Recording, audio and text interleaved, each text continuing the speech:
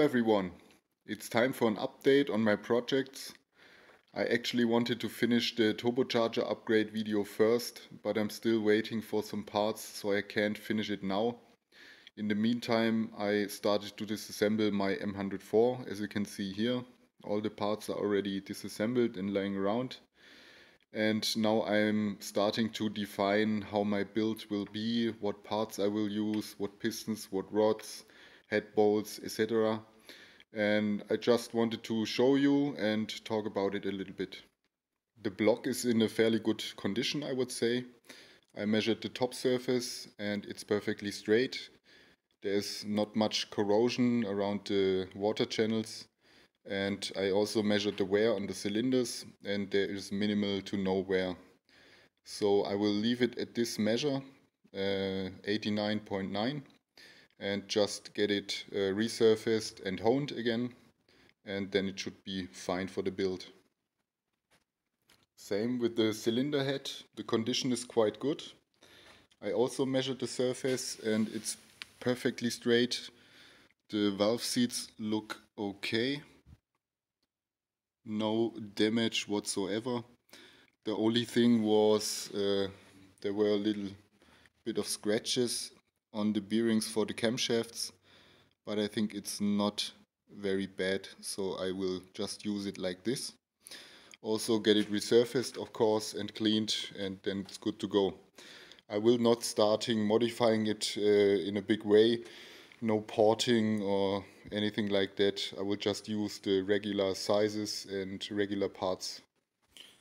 For the head gasket and the head bolts I have a special solution at the moment.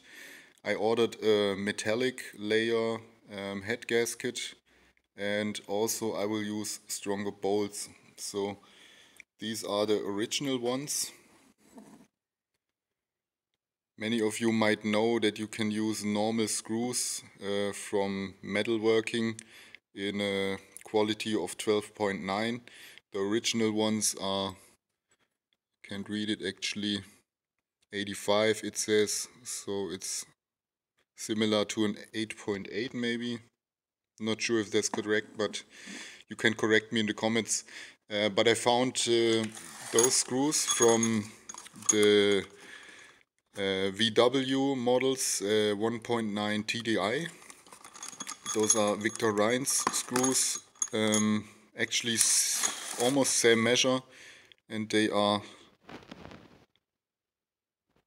12.9 and you can see it there maybe. 12.9 and they are pretty much the same. They are a little bit longer as you can see. But I just need to cut this end without the thread so it will go deep enough then into the block to um, clamp the head and also I will have the thicker head gasket so there's a little bit more room and I think this will work fine. So when we talk about original parts I will leave the camshafts as they are no special camshafts, just the original ones. For the valve springs, I will also go with the original ones. I will just add the inner valve spring you can buy at Mercedes. Um, they already fit on this uh, on this plate here, on this washer. Um, I have the part number not here at the moment, but I can write it down in the video description. Then for the pistons, my plan at the moment is not to go with the common solution to have shorter rods and use the original pistons or to um, remove material from the original pistons to reduce compression. I will use um, pistons from the M111 engine models. Um, this is from a 200 uh, C200 compressor so the supercharged version and it already has uh, compression reduction so you can use original length uh, rods and you will have the reduction included in the piston let's say they originally also come with uh, more massive piston pins So the ones from the M111 have less inner diameter, so they are a little bit stronger. Not sure if this is actually needed, but uh, when Mercedes designed it like this, I think it has some purpose maybe. I noticed an interesting change uh, from the newer models to the older models. So the pistons I use and I have here are from the newer models, the M111 Evo models. And uh, first I had a piston um, from an older one, so not the Evo version. And this one has a perfectly flat surface. That's what I wanted to go for. Then I ordered pistons from the newer models because they were available. And I noticed they have some kind of bulky design.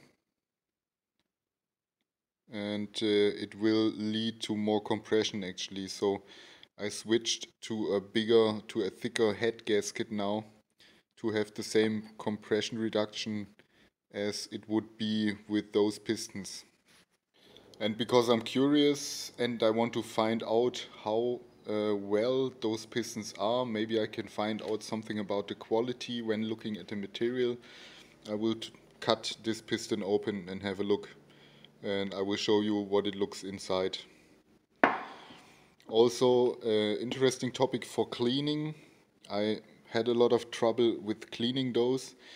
There were a lot of uh, carbon deposits on the pistons and I tried it with different stuff but the final solution I found which worked the best for me is to use uh, this stuff here. It's called in English um, ammonia spirit so it's a solution of ammonia, 25% I would guess, with water. And if you put the piston inside of a small container with this stuff and leave it there for 15-20 minutes, you can actually just wipe away all the carbon deposits and the piston will look like this. It looks pretty good. I hope it will focus. Come on, focus.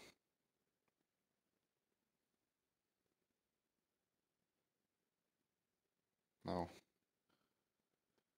Of course it is hard to get all the carbon deposits uh, out of those uh, areas for the uh, piston rings, but you can repeat the process two times and then it actually looks like this. I think that's quite nice and easy.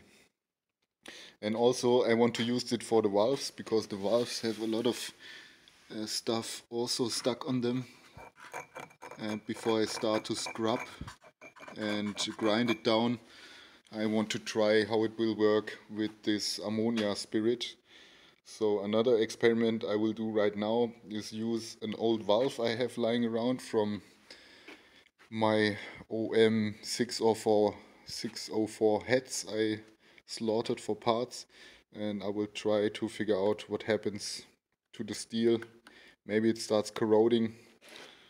Let's find out.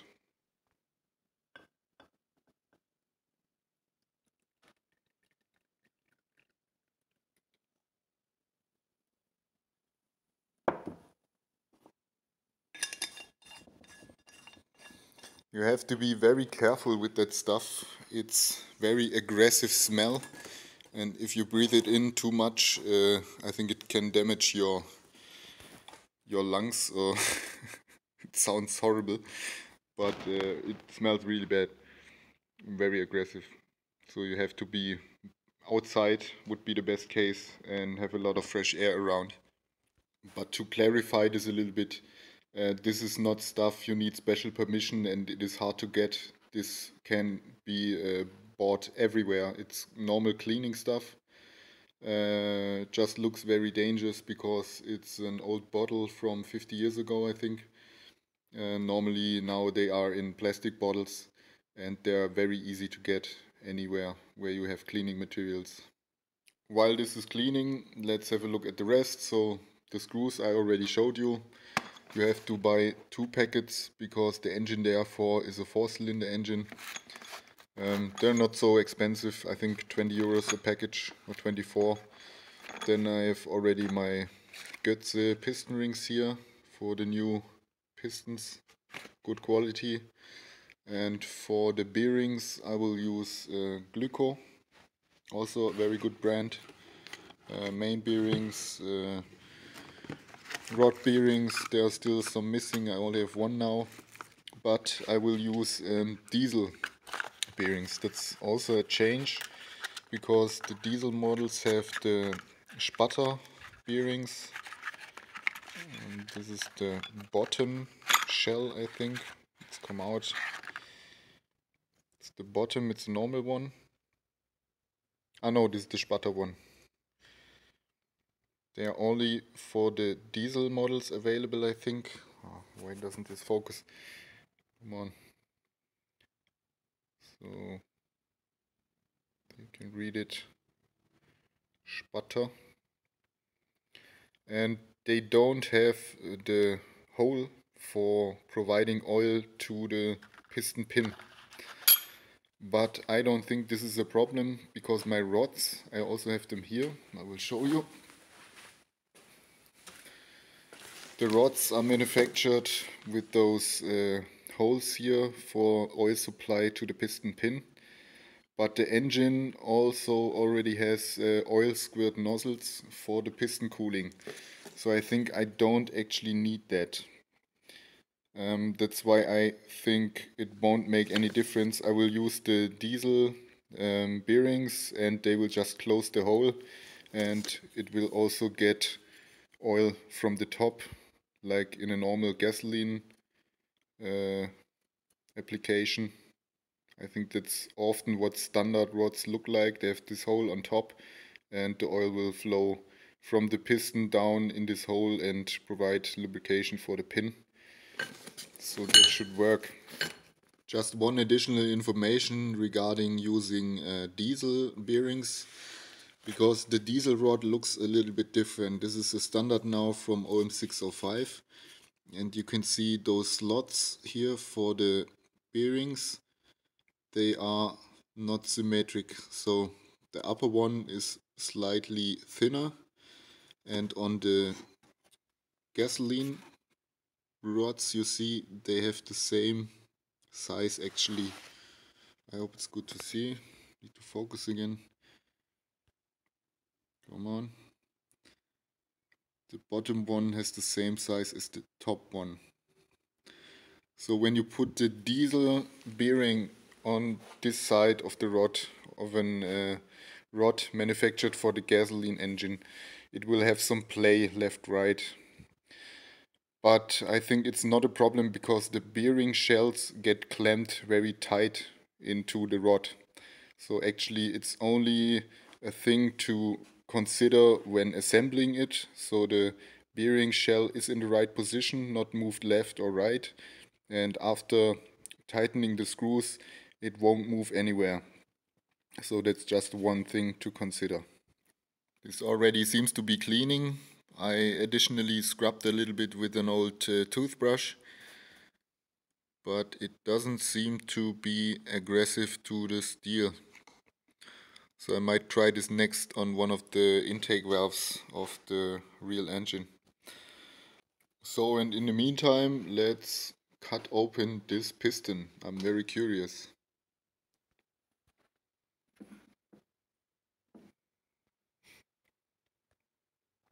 This is what the piston looks like from the inside. Not sure what the information to gain from this, but I think it's just interesting. Um, this is 9 millimeter thick. And I also tried a braking test. So I broke this edge off. And it took a lot of force. And it's more brittle than uh, soft material of course. Yeah, you can see a little bit the material quality on the breaking edge. It's hard to see on the camera, but it's a very fine structure. So I had the valve in for an hour maybe, but I already noticed it doesn't work that well on the valves. Maybe it's because the carbon deposit is too thick and it would just take too much time.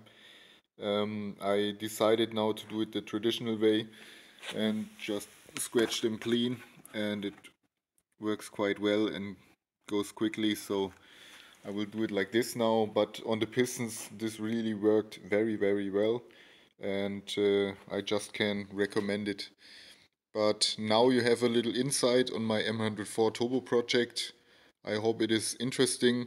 If you have any further questions or maybe some tips for me, because this is my first uh, gasoline turbo project, um, just write it down, let me know, leave a comment and give a thumbs up if you liked it.